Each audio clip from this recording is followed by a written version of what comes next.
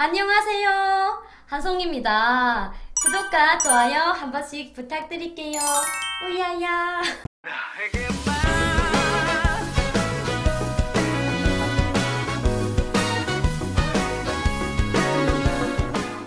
북한의 인권이라고 하면은 정말 열악하거든요. 솔직히 전 세계, 우리나라 대한민국뿐만 아니라 미국, 캐나다, 뭐 일본, 뭐 등등 정말 전 세계에서 북한 인권이 열악하고 정말 인권 보장이 안 돼 있다는 거는 누구나 다 아는 사실이잖아요. 근데 이것도 불구하고 북한 주민들이 자기들이 아무리 인권 유린을 당하더라도 이 인권 유린을 위해서 어떻게 해야 될지를 모릅니다. 너무너무 속상한 일이거든요. 솔직히 내가 인권 유린을 당했어. 이래도 어디가 할 이야기가 없어요. 만약에 제가 뭐 지나가다가 보안원한테 성추행을 당했다. 이러면은 아, 나 보안원이 나 성추행했어요. 이거 처벌해주세요. 라고 하면은, 오히려 그, 그, 이제 처벌하는 쪽에서, 야, 네가 얼만큼 행실이 나빴으면은, 어? 지나가는 남자가 걸쳐도, 어? 그렇게, 어? 그런 소리를 하고, 다니냐, 저 부끄러운 줄 알아라, 이런 식으로 이야기를 하거든요.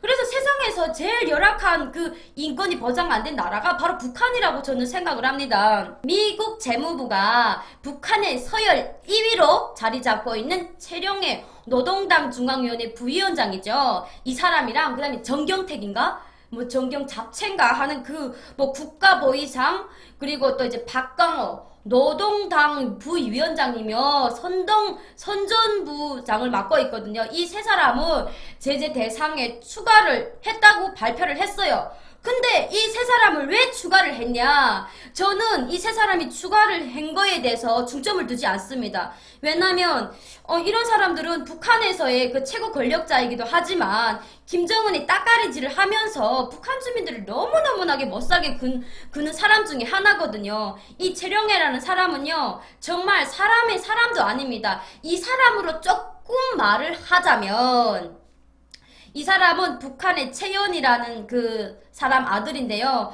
이 채연은 북한의 뭐 항일 무장 투쟁 시기부터 뭐 6.25 전쟁 때까지 김일성이 오른팔이었대요. 김일성의 수발을 든 사람 중에 한 사람인데 이런 사람들은 북한에서 핵심층에 속합니다. 핵심층도 제일 서열이 1위거든요. 백두산 그 혈통에 무슨 뭐 강아지 혈통도 아니고 백두산 혈통 진짜 웃기고 있네. 어, 근데 이 사람이 아들이 바로 채룡해예요. 근데 이 채룡해가 한때 북한의 자강도 북한 자강도 낭림군 삼포강산에 혁명화를 왔댔어요. 근데 왜 왔댔냐? 이 사람이 약간 북한의 이런 기쁨저들과 은밀한 그런 미래를 즐겼대요. 근데 김정일이 귀에 딱 들어갔대요. 그래서 김정일이 너무 화가 나가지고 야 이 벌레 같은 게 지금 니내 여자를 건드렸니 너 오늘 죽었어 라고 죽이려고 하다가 얘를 바로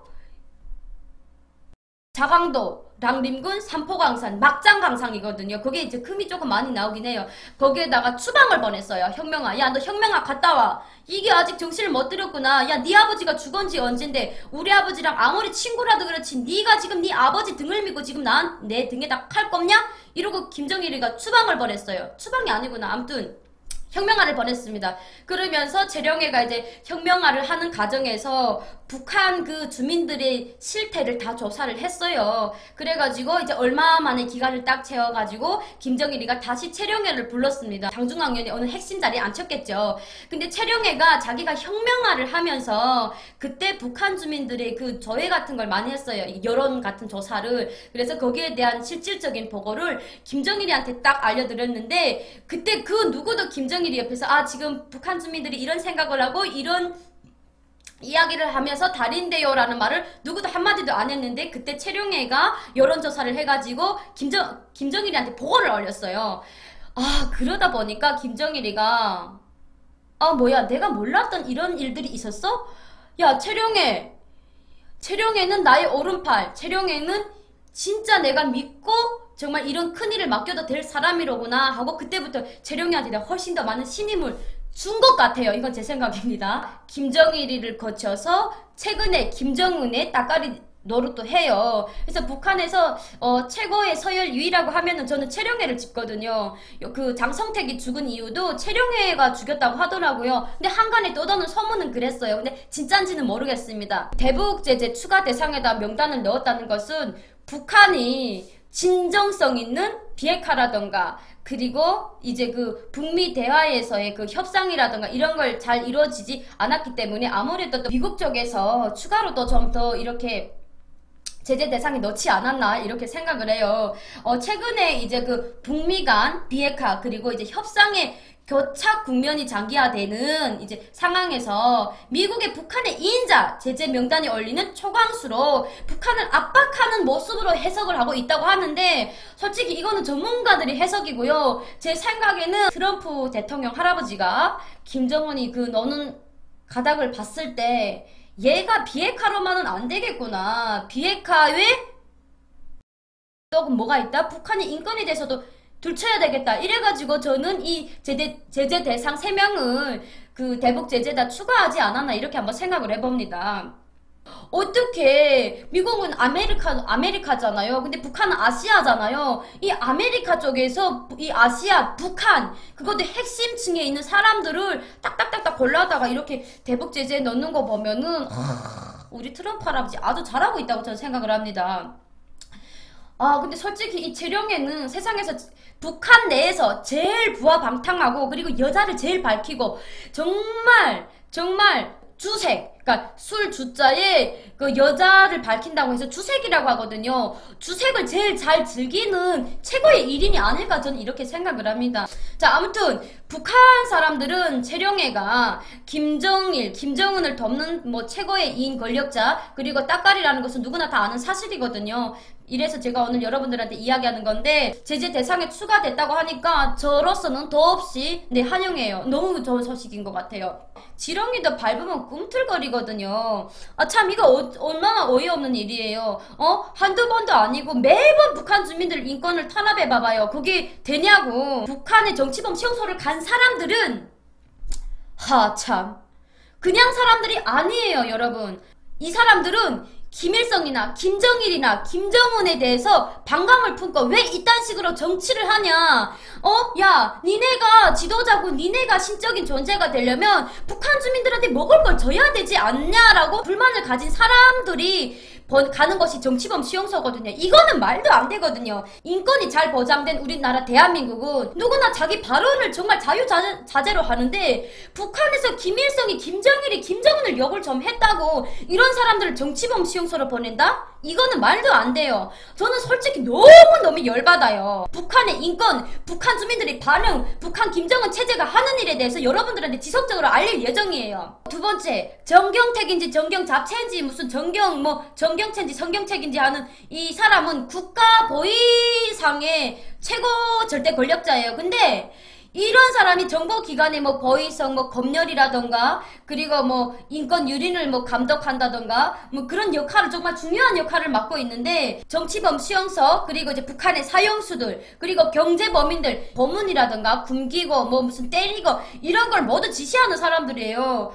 아, 정말. 근데 이런 사람을 경제적 제재 대상 추가로 넣었다. 아, respect. 이거는 박수 쳐야 돼요. 왜냐면 이런 것들이 있어가지고 북한 주민들을 훨씬 괴롭히거든요. 아무리 김정은이 야 정경택 야 누구 최룡해 북한 주민들 조금 좀 먹게끔 해주라. 이러면은 바로 아 네 알겠습니다. 하고 씨 개뿔.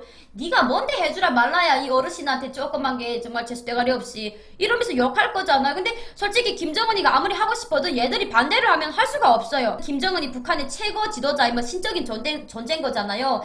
채령해라든가 정경택이라든가 이런 사람들이 김정은을 신처럼 포장을 해주는 겁니다. 그러면 김정은은 북한 주민들한테 보이기를 신처럼 보이 보이는 거죠. 어떻게 보면은 허수아비 꼭두가 실지도 몰라요. 솔직히 불쌍한 인간은 김정은인 것 같아. 아 정말 왜 저러고 사는지 내 같으면 탈북을 하겠다. 참 불쌍한 인간이야. 북한의 이런 그 보위부라던가 안전부 심지어 이런 사람들은 뭐 탈북을 하다가 잡혔잖아요 비버벌경자 그리고 이제 뭐 도둑놈 그리고 뭐 성매매 이런 사람들을 뭐 뭐뭐 철창 같은 데다가 이렇게 가둬가지고 고문을 이렇게 잘하는 그런 부서예요. 이 대한민국 그, 법, 그 법에는 정말 내가 큰 잘못을 졌어요. 제가 큰 잘못을 써서 보안, 그 경찰서에 갔습니다. 그러면 조서라든가 이런 거를 조사를 받을 때 사람을 때린다거나 뭐 엄청 뭐 형편없이 뭐 죽탕을 쳐버린다든가 이러지는 않잖아요. 근데 북한은 그런 게 아니에요. 일단 그냥 반나, 반나절 죽이고부터 봅니다. 엄청 엄청 많이 죽이고요. 그리고 엄청 때려놔요. 그냥 아주 그냥 멍두가래로 그냥 그냥 뭐 피죽에 똥탕 되게 때립니다. 그렇게 이제 죽창처럼 이제 맞은 사람을 데려다가 이제 조사를 하는데 그게서는 말 안 하고는 견딜 수가 없어요. 예쁘장하고 막 어, 어떻게 보면 아, 이 여자 너무 예쁘다 이런 여자들이 이제 간혹 보이부라든가 안전부에 잡히잖아요.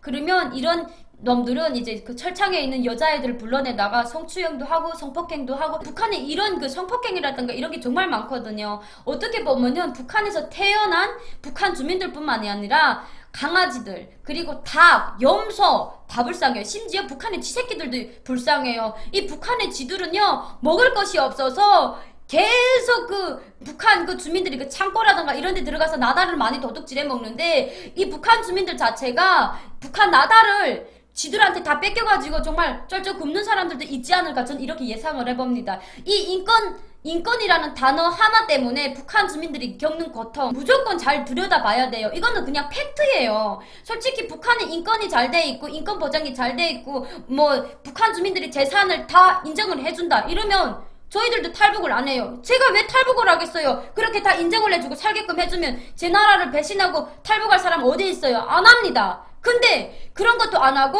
사, 차라리 뭐 재산 같은 거는 뭐 인정을 안 해주더라도 인권유린 이거를 하기 때문에 어쩔 수가 없어요. 그리고 북한에서 온 사람들은 인권 탄압을 다 받은 사람들이에요. 뭐 댓글을 보니까 야 네가 뭐 알겠니? 어? 북한에서 나온 지 언젠데 북한에서 10년 전에 나왔던 20년 전에 나왔던 사람들은 북한 체제에서 다 정말 인권 탄압을 받고 인권 유린을 당하고 정말 힘들게 살다가 오신 분들이기 때문에 이 사람들이 아픔이 정말 커요.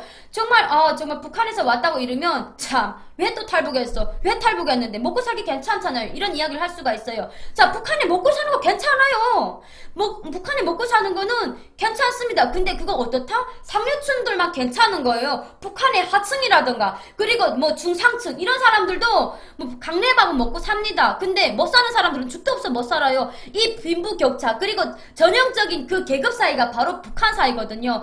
옛날 노예 시대도 아니고 계급 사이 이게 말이 되나요? 뭐 어떤 분들은 아우 그래도 북한은 여명거리 만들고 각적거리 만들더라고요. 이것 또한 북한 주민들한테서 돈을 충성의 당자금을 내라고 해서 만든 거예요. 김정은이 솔직히 이번에 남북 정상회담, 북미 정상회담에서 유일하게 큰 일을 많이 했어요. 젊은 사람인데 일을 너무 잘한다는 것을 인정을 하는 부분도 있고요. 근데 그렇게 해서 뭐랍니까? 김정은이 말 잘 안 듣잖아요. 그러니까 북한의 주민들은 처음에 남북 정상회담, 북미 정상회담 됐을 때는 정말 정말 설레고 너무 너무 좋고 아 정말 정말 이렇게 남북 간의 교류가 잘 되고 대북 제재가 정말 풀릴까라고 생각을 했는데 아직까지도 대북 제재는 더 강화되고 그리고 북한의 김정은은 미국이 아직 어, 지금도 대북 제재 하고 있다고 노동 그 신문에 자꾸 실리고 있잖아요. 어떻게 보면은 북한 주민들이 모른지기 실망을 크게 했어요. 북한의 인권은 세상에서 최악이에요. 우리나라 대한민국이 천국이라고 하면은 북한은